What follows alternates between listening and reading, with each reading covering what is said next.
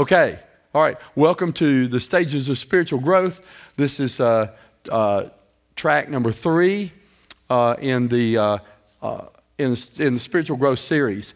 And before we get into track three, starting with track three, I just want to point out to you uh, again what the different tracks are and why they are important. The Bible is very, very clear about the different stages of spiritual growth. And this is one of the reasons why, when people begin their walk with God, that, uh, that they're not able to digest some of the information that we get as Christians. Sometimes, as Christians, we'll hear a message, for example, on the anointing of God, and it sounds so good. Man, when the anointing of God is flowing, this is happening and that's happening. And we're excited and we want to get in it. And sometimes, even people will start trying to operate in the anointing of God. Everybody say flake. Everybody say no flakes. No, that's what happens is people will hear a, a, message on the anointing and operating on the anointing and the power of the anointing of God, and they'll want to operate in that, not realizing that is for people who have reached a certain spiritual maturity level. And if we're still over here, we're still learning some certain things. We're still learning to deal with envy. We're still learning to deal with hypocrisy. If you can't, until you have learned to deal with evil speaking and envy and understanding the dominion and rule of God, how to persevere, and then over here, how to, uh, envy's on here twice, overcoming strife, division, uh, sonship, it's backwards, uh, repentance, faith, until laying on of hands, until we get this stuff down, we're going to be dangerous trying to deal with some of this stuff over here. Does that make sense to anybody? Um, this, is, this is why there are things uh, overcoming the devil. Uh, well, Jesus Christ paid for our ability to overcome the devil. He paid for that on the cross. So we are victorious over the devil, but understanding what that is and being able to, to move from defense mode, where I'm trying to keep the devil off my back, to now I'm over here where I'm encroaching on the enemy's territory and now he's afraid of me. That that's in this spiritual maturity level and so we have to, uh, we have to get these things under our belt first. How many of you know you should learn to tie shoes before you buy shoes? So, uh, this is all review for you. I know all of you have already seen this, but I just want to remind you because we're going to see some interesting things here in the book of First John, chapter 2. First John, chapter 2. If you would turn with me there. Uh, Nicole, is Nicole in here? Where's Nicole? Okay. Tammy, I need your help with something. On Nicole's desk, there are, uh, there are some pages that have the stages of spiritual growth on them. Uh, do you know what they look like, what I'm talking about? Okay, would you bring those in here? There's a whole stack of them. Hey guys, come on up. Would you do me a favor? Come right up here on the front row. Would you do that? I want your nice, shining the backs of your heads on the video here. Okay, great. Um, in uh, 1 John chapter 2, verse 12, it says this I write to you, little children, because your sins are forgiven for his name's sake. The Greek word here that's used for little children, it's the Greek word teknion, T E K N I O N, teknion. And it actually means a little child. It's one of the uh, words for a little child. And this is actually the last one we're going to be talking about here. We have we've uh, talked about all of these things here, and we're going to be talking about um, we're going to be talking about uh, forgiveness, understanding, being forgiven. That's the last one here. That's a that's a two week lesson. It's this week and next week. Then the week after that, we're going to be moving to here. And we're going to be moving to this maturity stage. Who's excited about that? Everybody say, growing is good. Would you just pass those out there? I want everybody just to, uh, to be able to see where they're at and uh, see uh, what we're dealing with here. Track one's track, track one, track two, and track three. So this is uh, track two, lesson number one. Track three, lesson number one. So uh, here it says, I write to you, little children, because your sins are forgiven for his name's sake. That's the word teknion. Now, that's what we want to talk about tonight. But before we talk about that, I want to move on a little farther in here, and I want to show you how some of these Greek words are used. Verse 13 I write to you, fathers, because you have known him who that you have known him who is from the beginning. Then it says, I write to you, young men, because you have overcome the wicked one. That word young men in the Greek is the, the Greek word uh, neoniskos, N E A N I S K O S, for those of you that care. It's, it's pronounced neoniskos. And neoniskos means an adolescent. So you see, he, talk, he was talking to toddlers before uh, about uh, understanding forgiveness. Then he moves on and he says, Now, adolescents, I want to talk to you about overcoming the wicked one. Then he says, Now watch this, this is tricky. I write to you, the last part of verse 13. Everybody following me? The last part of verse 13, I write to you, little children, because you have known the Father. This word, little children, is the Greek word paidon, P A I D O N, and it means an adolescent also. It's not the same little children as in verse 12 that says toddlers. This is a different Greek word. So basically, he's saying, I write to you, toddlers, because your sins are forgiven for his name's sake. And then the last part of verse 13 I'm writing to you, adolescents, because you've overcome the wicked one. I write to you, more adolescents, because you have known the Father. Verse 14 I've written to you, fathers, because you have known him who is from the beginning. And then I have written to you, young men. This is the same young man as up there, neoniskos, that means adolescents, because you are strong and the word of God abides in you, and you have overcome the wicked one. So it's important that we see that verse 12, he say, he's saying, I'm writing to you, toddlers, because your sins are forgiven. I want you to understand that your sins are forgiven. Then in verse 13, he's saying, Now, adolescents, I'm writing to you because you've overcome the wicked one. I'm writing to you uh, because you have known the Father. Uh, because uh, adolescence because you've known the father. And then the last part of verse 14 he says you are strong in the lord strong in the word of god and the word of god abides in you and you have overcome the wicked one. So we see here that understanding forgiveness if i if you'll let me say this this way understanding forgiveness is a prerequisite to uh, having an understanding of overcoming the wicked one now, every child of God, from the moment of their spiritual, uh, of their spiritual birth, every child of God has authority over the enemy. Every, as soon as a person raises their hand, prays the prayer, the blood of Jesus cleanses them from their sin. All this, the devil has lost them. They have authority over the enemy. The thing is, you can't have an understanding of having authority over the enemy fully until you understand forgiveness and how forgiveness works. So that's why these are listed like this. That's, that's why here, it's not on this list here because uh, Nicole ran out of room, but here we have um, um, understanding forgiveness and what forgiveness means to us. And then over here, now that you've got that, then you can have a complete understanding of overcoming the devil and how that works as well as these other things, knowing the Father, the urgency of the last days, etc. So, does everybody see how this progression works?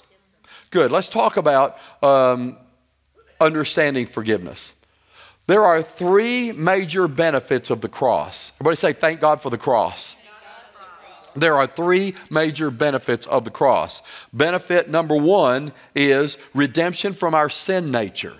2 Corinthians 5:21 says that he caused him who knew no sin to become sin for us. And that sin, that word for sin that we've been studying here for the last several weeks is the Greek word hamartia, H A M A R T I A, hamartia, and it means not just individual sins, but it's referring to your sin nature. He who did not, who knew no sin or did not have a hamartia, did not have a sin nature, became our sin nature for us. He took our sin nature on the cross that we might then become the righteousness of God in Christ. So, the first two benefits of the major benefits of the cross number one is redemption from our sin nature that we're going to see in a few minutes is different than having our individual sins forgiven. then the second major benefit of the cross is the reception of the righteousness of God, and that is our new nature. And it's important that we as believers understand that God doesn't just intend for us to be forgiven of our sins and then eke out an existence until Jesus finally comes and rescues us from this wretched world. It is God's intention that we walk in a state of victory all the time. He became, 2 Corinthians 5.21 says that Jesus Christ became who we were. He took our sin nature on the cross that we might become who he is, the righteousness of God in Christ. So we need to walk with our head up. Everybody sit up in your chair, real strong. Everybody throw your shoulders back. Everybody say, I am. I am. Oh, you're wimpy. Say, I am. I am. The righteousness of God in Christ. And that's how we need to walk through life. Not, uh, I'm so whipped and beat down. I am the righteousness of God in Christ. And we got that. That's not blasphemy. We got that from Jesus, 2 Corinthians 5.21. A few verses above that, 2 Corinthians 5.17 says that we become new creatures. 2 Corinthians 5.17. Let me read that to you.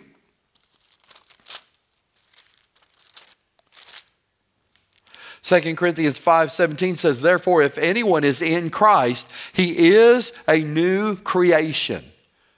Old things have passed away, and behold, all things have become new." So when Jesus uh, died on the cross for us and he took our sin nature on the cross, it wasn't so that we could continue in the life that we had, just minus our sins.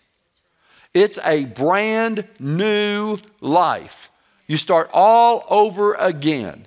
The slate is clean. And it's not just, well, thank God I've been forgiven of my sins, but now you have a new destiny, you have a new purpose. God gives you new friends, you have a new family. Thank God for the family of God. I mean, everything, it all becomes new. And Understanding that as a believer is vital to our Christian life. Most people who make a decision to follow Christ and don't make it are only looking for fire insurance. I just don't want to go to hell. So if I pray the prayer, does that mean I don't go to hell? And we don't realize, no, Jesus died on the cross so you can have his nature and now you become a new creation and everything is new. You go, you know, the career. I was studying to be a symphony conductor. I was studying classical music. It was my life. I ate it, slept it, thought about it all the time, listened to, listened to, read scores. I fell asleep in my bed reading scores and studying, learning classical music. And then over a summer break, I made a decision to follow Christ and my whole world was turned around. Then I went back to school for in the fall and for the first couple weeks I was thinking, what am I doing here? Why am I here? What am I doing? It was my whole life last year. This year, I'm not interested in this anymore. Now, that's not to say that God can't continue to use you where you are in the business world and that kind of thing. But for me, everything changed. Everything changed. My friends changed. Everything changed. And that's Second Corinthians 5 17. You become a new creature, a new creation. Everything becomes new. So, the three major benefits of the cross first of all, redemption from our sin nature. Second of all, the reception of the righteousness of God, our new nature. And thirdly, redemption from the curse. In Galatians chapter 3, verse 13, it says that uh, Christ has redeemed us from the curse of the law, being made a curse for us, having become a curse for us on the cross. Uh, for it is written, Cursed is everyone who hangs on a tree. Jesus hung on a tree, hung on the cross, and he took our curse the, verse 14, that the blessing of Abraham might come upon the Gentiles in Christ Jesus, that we might receive the promise of the Spirit through faith. So these are the three Uh, and redemption from the curse means redemption from sickness and disease, poverty and lack, discouragement, depression, despondency, all those things Jesus took on the cross and, and redeemed us from the curse. So he, re, he redeemed us from our sin nature. He he gave us His nature. We become the righteousness of God. And then, thirdly, He took our curse on the cross. Isn't this all good news? These benefits, and here's the kicker though, these benefits cannot be appropriated in the life of any person if there is the presence of sin. We can't be the righteous, which is this is what trips people up when you start talking about, well, when you tell somebody, uh, even religious people, I mean, you tell Christians, you go to the mall and run into somebody that, that you know, is wearing an I love Jesus button. And you tell them, I'm the righteousness of God in Christ. And that freaks people out. Now, I didn't say that. I didn't make that up. I just read to you 2 Corinthians 5.21, where Jesus said, he took our sin that we might become the righteousness of God in Christ. And uh, if, but if there's sin in the presence in, in any believer's life, then we can't appropriate any of these benefits. Not redemption from our sin nature. We cannot become the righteousness of God in Christ. And thirdly, uh, we can't be redeemed from the curse if there's a presence of sin in our life. So then everybody thinks, well, doesn't everybody have sin in their life? Does every, I mean, everybody makes mistakes. I mean, people sin sometimes. So doesn't everybody, doesn't everybody have that? So how is this even possible? Remember, Jesus' blood took our sin nature on the cross so that we could become the righteousness of God in Christ. So we put too much stock. Should Christians sin? No. First John, we're going to look at First John in a few moments. First John 1 7, uh, uh, yeah, I believe it's 1 7, where John says, I'm writing to you, I'm writing this letter to you that you as believers do not sin. But if we do sin, we have an advocate with the Father, Jesus Christ the righteous. And 1 John 1 9, if we confess our sins, he's faithful and just to forgive us of our sins and cleanse us from all unrighteousness. So that doesn't mean that believers don't slip, believers don't sin, that, that something that we don't, oops, wow, I can't believe I did that. Well, that doesn't mean you're going to hell. That means that we confess our sins and then it's under the blood. But remember this Jesus' death on the cross was not a spot cleaner. You ever get a spot on your rug and you spray it and spray it and spray it and then you spray You're not cleaning the whole rug. You're cleaning this one, this one place. But that's not what Jesus did on the cross. He didn't just go to your heart and, oh, I think I, think I little, see a little black place on your cross there. Mm. He, Jesus gave you a whole new nature, his nature. So this is why when you do sin, this is what conviction is. This is sin. It's, it's sin whether you got angry with somebody you shouldn't have gotten angry with, or you said something you shouldn't have said, or you did something you shouldn't have done, that's what conviction is, is it's bouncing around on the inside of you and it has no place to land anymore because your sin nature was taken on the cross. So this is why you feel so icky. Before I knew Jesus, I could sin and I was fine. After I knew Jesus, I could sin and I felt like throwing up because my whole nature changed. Anybody relate to what I'm saying? Your whole nature changes. So, um, come on, iPad. There we go. So, um, to begin the salvation process, now, most people do not understand everything that we're talking about here. I mean, here, many of you have been believers 10 years, 15 years, but when we're talking about this, in order for a person to make a decision to follow Christ, they don't have to go through all this and all this to get down to what we're talking about today. Because the blood works when people repent. Uh, and most people do not understand this. But in order to be able to move on to overcoming the devil and actually having a, an understanding of how that works and being able to encroach on his territory, that you have to have an understanding of this. We, we talked about the spot cleaner a moment ago. Most people, when they buy a bottle of, if I, if I need to clean a spot on my carpet and I can't get it up with anything. And so I go to the carpet store. And I say, I got a spot on my carpet. It's, it's ink. A whole bottle of ink on my carpet. And we can't get it up. We tried this, tried that, tried that. And, the, and she pulls something off the shelf and she says, This will do it.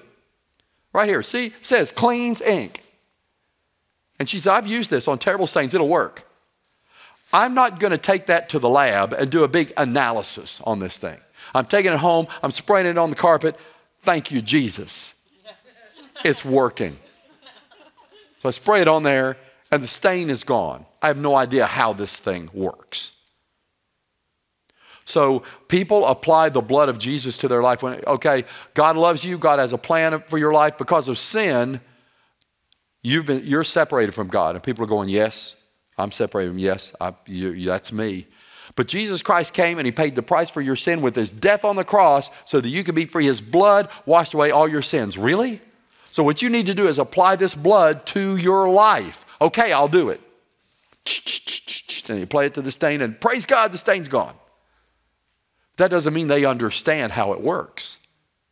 But it'll still, and I, there is a, you know, there is a, a, certain amount of understanding that needs to happen. But for you to become a mature Christian in God, you need to understand what we're talking about right here, that this works, how this works. Hebrews chapter 9, I want you to turn with me there. And I, I, can't teach on every all of this tonight. We're going to pick this up next week and teach on this. Hebrews chapter 9, verse 7.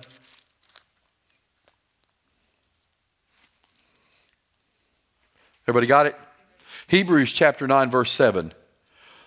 But into the second part of the high priest went alone once a year, not without blood, which he offered for himself and for the people's sins committed in ignorance. Uh, now, in the Old Testament, God instituted a, um, a program, if you will, to cover the sins of people, and it was the blood of animals that the priest would slaughter the blood of pure animals. And the Bible says that that blood would cover the sins, the, watch this, the individual sins of the people. It didn't remove their sin nature, it covered individual sins of the people. So they would have to bring sacrifices all the time and all the time. They're bringing sacrifices all the time. I mean, we've got records in the Bible where there were thousands of animals killed in a single day to cover the individual sins of people. That's the Old Testament. And so, and then once a year, the high priest would go in uh, with blood and he would offer for himself and for the people's sins that they committed in ignorance. So people would bring sacrifices for the sins that they did, that they knew they committed. Then once a year, the high priest would go into the Holy of Holies and slaughter an animal for the sins that they committed that they didn't even know they, they committed. This was a long, laborious process getting their sins covered. And verse 9, uh,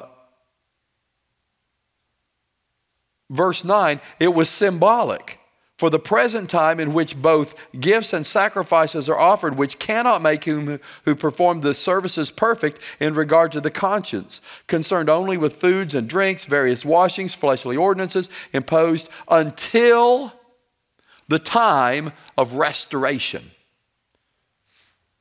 But Christ, Verse 11 came as the high priest of the good things to come with the greater and more perfect tabernacle, not made with hands, that is, not of this creation, not with the blood of bulls and goats and calves, but with his own blood he entered the most holy place once and for all, having obtained eternal redemption. For if the blood of bulls and goats and the ashes of heifers sprinkled, sprinkling the unclean sanctifies for the purifying of the flesh, how much more shall the blood of Christ, who through the eternal Spirit offered himself without spot to God, cleanse your conscience from dead works to serve the living God? And for this reason, he is the mediator of the new covenant by means of death. So, and then look down at verse 22. There's a lot here. But verse 22 says, And according to the law, almost all things are purified with blood, and without the shedding of blood, there is no remission.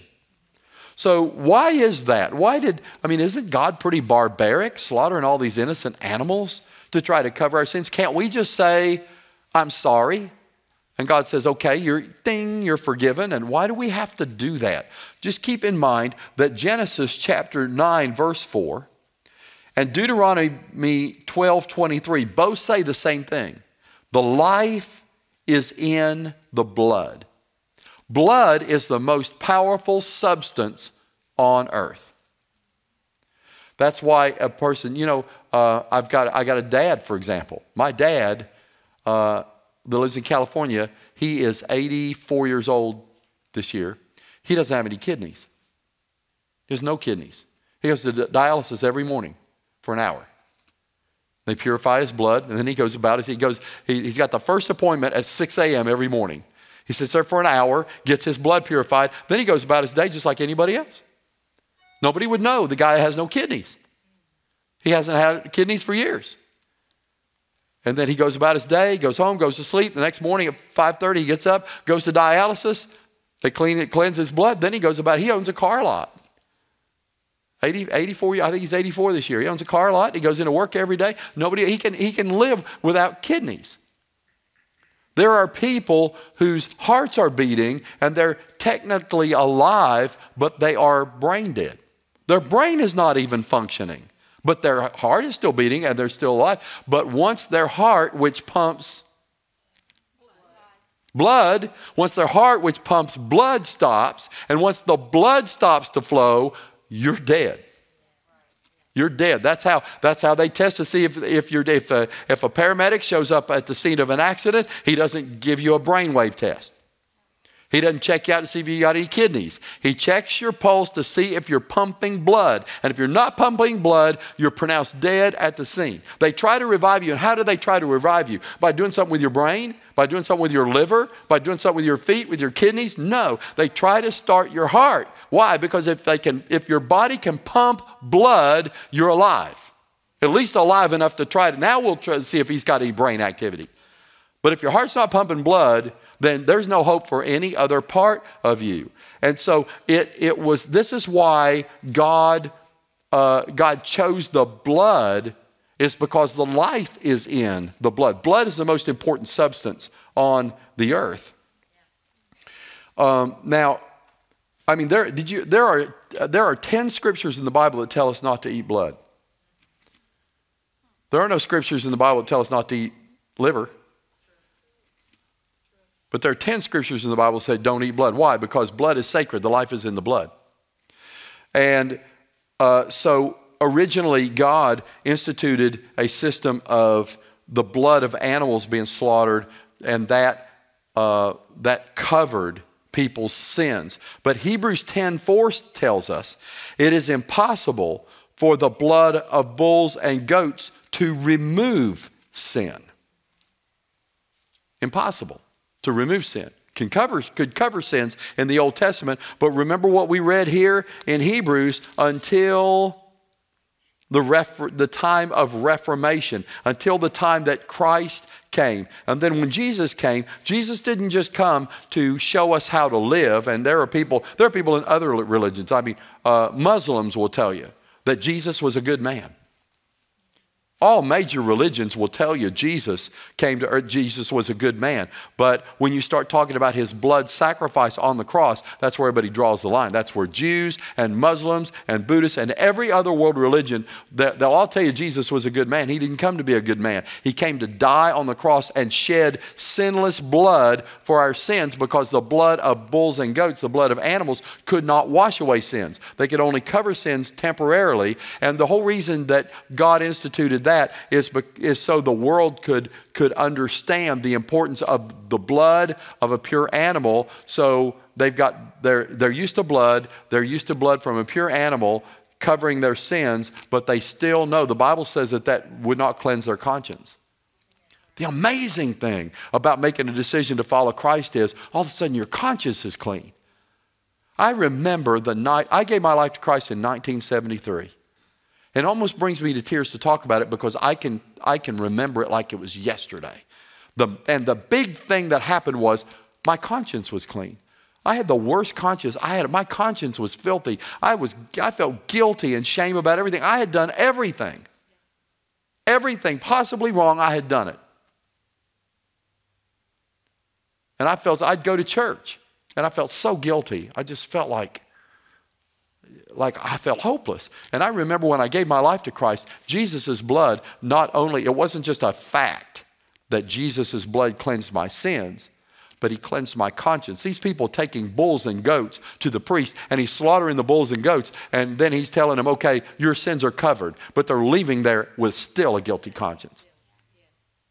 They feel terrible. Uh, or They're just taking the word of the priest who's given them the word of the Lord that their sins are forgiven. But when you make a decision to follow Christ, then He cleanses your conscience. That's what's so awesome about the blood of Jesus.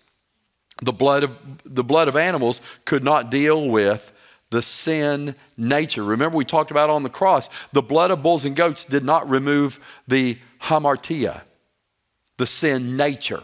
The blood of bulls and goats covered individual sins. But when Jesus died on the cross, he took our sin nature on the cross. That's why we could be cleansed from uh, an evil conscience, the Bible says. It's because of what Jesus took on the cross. So 1 John 1 7, I want you to turn with me there. We're almost finished. 1 John 1 7. The book of 1 John, chapter 1, verse 7 says, If we walk in the light as he, Christ, is in the light, we have fellowship with one another, and the blood of Jesus Christ cleanses us. His Son cleanses us from all sin. Everybody say that's good news. That's good news. He cleanses us from all sin. And then verse 9 if we confess our sins, He's faithful and just to forgive us our sins and to cleanse us from all unrighteousness. Then you go over to verse 12. I write to you, little children, teknion, toddlers. I write to you, little children, stage two believers. I write to you, stage two believers, because your sins are forgiven you for his name's sake.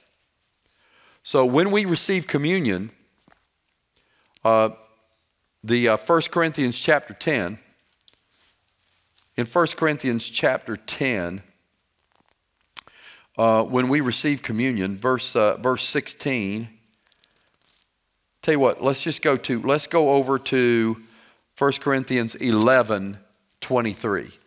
This is Paul's revelation of the Last Supper in 1 Corinthians chapter 11, Verse 23, Paul says, For I received from the Lord that which I also delivered to you, that the Lord Jesus, on the same night in which he was betrayed, he took bread, and when he had given thanks, he broke it, and he said, Take and eat this. This is my body, which is broken for you. Do this in remembrance of me. And in the same manner, he also took the cup after supper, and he said, This cup is the new covenant in my blood.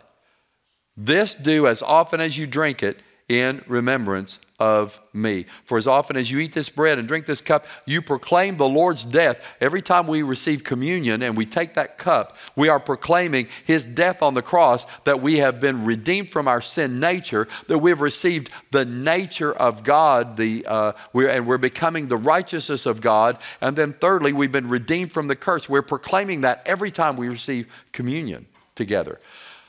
It's, it's amazing. You should, on your own Bible study time, you should do a study on the blood. Just use your concordance. On the back of your all of your bibles on the back of them they have a concordance. You should go back just go back there and look at the references in the new testament to blood to the blood and look those things up. And it would be remarkable. I don't i wouldn't have enough time in all of these stage three sessions to teach everything the bible says about the blood and what the blood has done for us. What I've given you is uh, are the, the high spots and exactly why the blood of Jesus works. Has this been helpful? About why the blood of Jesus works. Why blood? Why? Why? Isn't that kind of gross? You know, Jesus told his disciples one time he was out preaching, and he told his disciples, um, uh, if, you, if you're going to follow me, you have to eat my flesh and drink my blood. And all, they all said, Oh, that's gross. Drink your blood, really? And they, they stopped following him. He lost all of his disciples except the 12 over that statement. If you're going to follow me, you have to eat my flesh and drink my blood. Uh, they, and they, they didn't stick around to find out what he was talking about or ask him what he meant. Or here's a guy who, who does miracles and walks on water and raises the dead. So maybe we could just, rather than get grossed out, we should just hang around and maybe find out what this is about. You know, some people get offended at the least little things rather than just staying around to find out what stuff is about. Don't, don't do that. Um, but last scripture, Revelation 12 11. Revelation 12 11. And they overcame him. The believers overcame Satan by the blood of the Lamb and by the word of our testimony. So, this is why major religions and then and people who who uh, maybe don't have any religion but they're opposed to Christianity. This is the thing that freaks them out about Christianity. A lot of people think Christianity, the, the basic tenets of Christianity are be nice to everybody. I, I talked to somebody other, the other day. We got to talking, and he asked me what I did for a living or whatever, and he said, uh, um, and he was telling me about what he went to church, where he went to church, and I said, "So you're a Christian?" And he said, "Yeah, I try to be nice to everybody." Which is, which is, I mean, it's admirable. I'm glad, but but when somebody when somebody says that, you know they don't understand anything about the blood. Well, but what about your sin? Oh no, I'm I'm I, you know the golden rule. You know, do unto others what you'd have them do unto you, and be, and be nice to everybody, and don't don't get mad when people do stuff, and try to try to help. You know, if I drive down the road and I pass somebody and they got a flat tire, stop and help them. Yeah, I'm a Christian. What about our sin? Because we're not going to get into heaven because we're nice people.